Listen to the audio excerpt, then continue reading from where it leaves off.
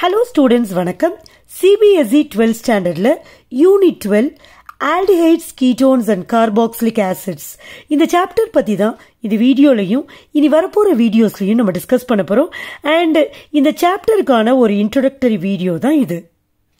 Organic கெமிஸ்ட்ரியில் ஒரு ஒரு group of காம்பவுண்ட்ஸையும் நம்ம ஃபங்க்ஷனல் குரூப் வச்சே சொல்லிடலாம். ஒரு எக்ஸாம்பிளுக்கு சொல்கிறேன் பாருங்க.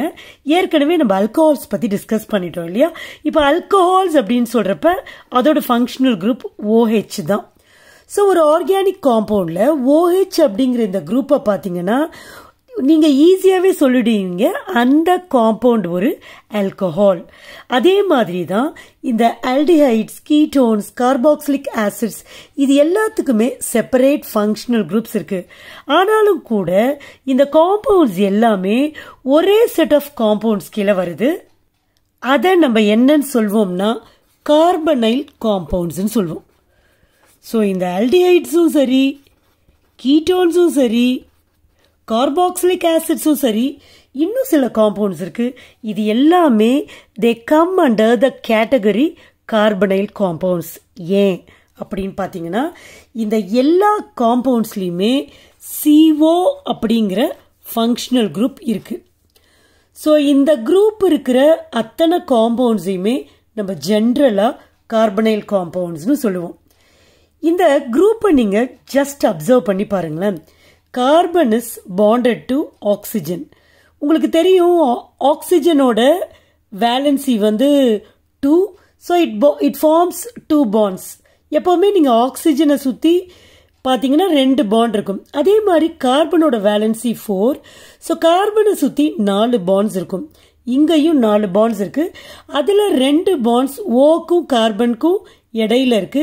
வேற ரெண்டு பாண்ட்ஸை இப்படி நம்ம போட்டிருக்கோம். அப்போ இங்கே யாரோ ரெண்டு பேர் வருவாங்க. இல்லையா? அதை வச்சு அந்த காம்பவுண்ட் ஃபார்ம் ஆகும். இப்போது இந்த பாண்ட்ஸ்க்கு பக்கத்தில் எந்த ரெண்டு குரூப்ஸ் ஆர் ஆட்டம்ஸ் வருதோ அதை பொறுத்து அந்த காம்பவுண்ட்ஸை வேறு வேறு கேட்டகரியாக நம்ம கிளாஸிஃபை பண்ணலாம். இப்போது இந்த கார்பனைல் குரூப்புக்கு இந்த கார்பனை கார்பனோட ரெண்டு பக்கமும் ஒரு பக்கம் அல்கைல் குரூப்பும் ஒரு பக்கம் ஹெச்சும் அதாவது if carbon is coordinated with one alkyl group and hydrogen atom இந்த காம்பவுண்ட்ஸை நம்ம ஆல்டிஹைட்ஸ் அப்படின்னு சொல்கிறோம் இதை நீங்கள் அல்டுகெதர் அப்படி சிம்பிளாக ஆர் சிஹெச்ஓ அப்படின்னு சொல்லலாம். ஸோ சிஹெச்ஓன்னு போடலாம் சி டபுள் பாண்ட் ஓஹெச் இப்படியும் பிரித்து எழுதலாம். ரெண்டுமே ஆல்டிஹைட் தான். ஸோ ரெண்டுத்தையும் பார்க்குறப்ப ஆல்டிஹைட் தான் அப்படின்னு நீங்கள் புரிஞ்சுக்கணும். அடுத்தது பாருங்கள் இந்த கார்பனைல் குரூப் இருக்குது ஸோ கார்பனுக்கு ரெண்டு பக்கம் ரெண்டு குரூப் அட்டாச் இருக்கும்.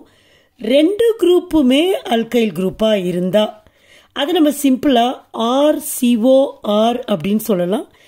இந்த குரூப் ஆஃப் காம்பவுண்ட்ஸை கீட்டோன்ஸ் அப்படின்னு சொல்லுவோம் ஸோ உங்களுக்கு பார்த்தாலே தெரியும் ஆல்டிஹைட்ஸ்க்கும் கீட்டோன்ஸ்க்கும் இடையில இருக்க டிஃப்ரென்ஸு கார்பனுக்கு ரெண்டு பக்கமும் அல்கைல் குரூப் இருந்தால் கீட்டோன்ஸ் ஒரு பக்கம் அல்கைல் குரூப்பும் இன்னொரு பக்கம் ஹெச்சும் இருந்துச்சுன்னா அது வந்து ஆல்டிஹைட்ஸ் ஓகே இப்போ பாருங்க கார்பனைல் குரூப் கூட ஒரு பக்கம் அல்கைல் குரூப்பும் இன்னொரு பக்கம் ஓஹெச்சும் இருந்தால் இந்த குரூப் ஆஃப் காம்பவுண்ட்ஸை நம்ம கார்பாக்சிலிக் ஆசிட்ஸ் அப்படின்னு சொல்லுவோம். அண்ட் இந்த ஃபார்முலாவை சிம்பிளி நீங்கள் ஆர்சிஓஓ ஹெச் அப்படின்னு எழுதலாம். So RC double bond O ஓஹெச்னு எழுதலாம். ஆர்சிஓஹெச்னு எழுதலாம். ஸோ இந்த குரூப் இருந்தாலே அதை வந்து கார்பாக்சிலிக் ஆசிட்ஸ்னு சொல்லுவோம். ஆர் கார்பாக்சிலிக் ஆசிடோட ஃபங்க்ஷனல் குரூப் என்னன்னு கேட்டால் நீங்கள் சிஓஓஹெச்னு சொல்லணும். இப்போது இந்த சி டபுள் பாண்ட் ஓ கூட ஒரு பக்கம் அல்கைல் குரூப்பும் இன்னொரு பக்கம் ஹாலஜனும் கனெக்ட் ஆகிருக்கிறப்ப இந்த ஆர்சிஓ குரூப்புக்கு என்ன பேர் அப்படின்னு பார்த்தீங்கன்னா அசைல் அப்படின்னு பேர். இப்போ இது வந்து எக்ஸ் எக்ஸ்னா ஹாலஜன் உங்களுக்கு தெரிஞ்சிருக்கணும். பட் ஒரு காம்பவுண்டில் எக்ஸ் இருக்கிறப்ப அதை ஹாலஜன்னு சொல்ல மாட்டோம் ஹேலைட்னு சொல்லுவோம் ஸோ இந்த காம்பவுண்டை நம்ம அசைல் ஹாலைட் அப்படின்னு சொல்லலாம். அடுத்தது இந்த கார்பனைல் குரூப் கூட ஒரு பக்கம் அல்கைல் குரூப்பும் இன்னொரு பக்கம் என்ஹெச் டூவும் கனெக்ட் ஆயிருக்கிறப்ப அதை சிம்பிளாக ஆர்சிஓ என்ஹெச் டூன்னு சொல்லலாம். அண்ட் இந்த காம்பவுண்ட்ஸை நம்ம அமைடு அப்படின்னு சொல்லுவோம் ஸோ அமைடோட ஃபங்க்ஷனல் குரூப் என்னன்னா சிஓ என்ஹெச் டூ ஸோ இதுவும் ஒரு கார்பனைல் காம்பவுண்டு தான். அடுத்தது பாருங்கள் கார்பனைல் குரூப்போட ஒரு பக்கம் ஆறும் இன்னொரு பக்கம் ஓஆரும் ஸோ இது ரெண்டுத்துக்கு டிஃப்ரென்ஸ் பாருங்கள் இங்கே வெறும் ஆர் இங்கே ஓஆர் இந்த மாதிரி இருக்கிறப்ப இதை சிம்பிளாக ஆர் சிஓ ஓஆர் அப்படின்னு எழுதலாம். அண்ட் இந்த குரூப்பை நம்ம எஸ்டரோட குரூப்னு சொல்வோம். So these compounds are called esters and C double bond O கூட ஒரு பக்கம் ஆறும் இன்னொரு பக்கம் R C double bond O O பாருங்க ஆர்சிஓஓ குரூப் கனெக்டாக இருந்துச்சுன்னா இதை வந்து ஆசிட் அன்ஹைட்ரைட் அப்படின்னு சொல்லலாம். ஸோ எல்லாத்தையும் ஒன்று சேர்த்து பார்க்குறப்ப இவ்வளோ காம்பவுண்ட்ஸ் இருக்கான்னு உங்களுக்கு தோணலாம்.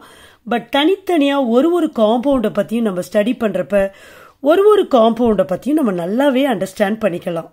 ஸோ இவ்வளோ காம்பவுண்ட்ஸையும் நம்ம collectively we call it as carbonyl compounds just because all these compounds contain CO group in common okay ஆனால் இந்த யூனிட் டுவெல்லில் நம்ம என்ன படிக்க போகிறோம் அப்படின்னா aldehydes ketones and carboxylic acids அப்போ aldehydes ketones and carboxylic acid இந்த காம்பவுண்ட்ஸோட preparation properties physical properties chemical properties அந்த கெமிக்கல் ப்ராப்பர்ட்டிஸில் முக்கியமான மெக்கானிசம்ஸ் யூசஸ் டெஸ்ட் இது எல்லாத்தையும் படிக்க போகிறோம் இந்த காம்பவுண்ட்ஸை அவ்வளோ இம்பார்ட்டன்ஸ் கொடுத்து லேர்ன் பண்ணுறதுக்கு முக்கியமான காரணம் என்ன? அப்படின்னு பார்த்தீங்கன்னா இந்த காம்பவுண்ட்ஸ் அனிமல் கிங்டம்லையும் பிளான் கிங்டம்லையும் நிறையவே வருது. நிறைய பயாலஜிக்கல் ப்ராசஸில் இந்த காம்பவுண்ட்ஸ்லாம் இன்வால்வ் ஆகுது. அது மட்டும் இல்லாமல்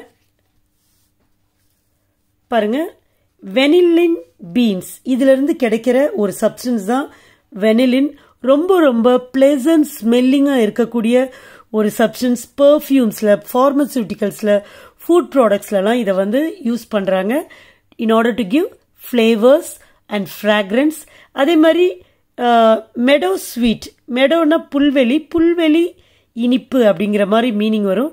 அதுலேருந்து கிடைக்கிற ஒரு சப்ஸ்டன்ஸ் தான் இந்த சாலிசில் ஆல்டிஹைட் இதுக்கும் வந்து ஒரு யுனிக் ஸ்மெல் இருக்குது அதே மாதிரி சின்னமான் சின்னமான்னா நீங்கள் கண்டிப்பாக கேள்விப்பட்டிருப்பீங்க. லவங்க பட்டைன்னு சொல்லுவாங்க. நீங்கள் வேணால் உங்கள் வீட்டில் கிச்சனில் நீங்கள் பட்டைன்னு அம்மாட்ட கேட்டு பாருங்க. அவங்க எடுத்து கொடுப்பாங்க. அதுக்குன்னு ஒரு தனிப்பட்ட ஒரு ஸ்மெல் இருக்கும். ஸோ அதுலேருந்து தான் சினமால்டிஹைடை வந்து எக்ஸ்ட்ராக்ட் பண்ணுறாங்க ஸோ இந்த மாதிரி எக்ஸ்ட்ராக்ட் பண்ணுற இந்த சப்ஸ்டன்ஸ்க்கு எல்லாமே ஃப்ளேவரிங் ஏஜெண்ட்டாக ஃப்ராக்ரன்ஸ் கொடுக்குற சப்ஸ்டன்சஸாக நம்மளுடைய டெய்லி லைஃப்பில் நிறைய ப்ராடக்ட்ஸில் யூஸ் ஆகுது. ஃபுட் ப்ராடக்ட்ஸ்லையும் ஃபார்மசூட்டிக்கல்ஸ்லையும் நிறையவே இந்த ஆல்டிஹைட்ஸ் கீட்டோன்ஸ் கார்பாக்சிலிக் ஆசிட்ஸ் இது எல்லாமே யூஸ் ஆகுது. அது மட்டும் இல்லாமல் இந்த அடசிவா பெயின்ஸில் இண்டஸ்ட்ரியல் ப்ராடக்ட்ஸ்லலாம் இந்த சப்ஸ்டன்சஸ் யூஸ் ஆகுறதுனால கண்டிப்பாக இந்த சப்ஸ்டன்ஸ் பற்றிலாம் நமக்கு தெரிஞ்சுக்க வேண்டிய அவசியம் இருக்கிறதுனால தான் இந்த காம்பவுண்ட்ஸ்க்கு அவ்வளோது ஒரு இம்பார்ட்டன்ஸ் கொடுத்து இதை ஒரு தனி சாப்டரில் வச்சு நம்ம லேர்ன் பண்ண போகிறோம் ஓகே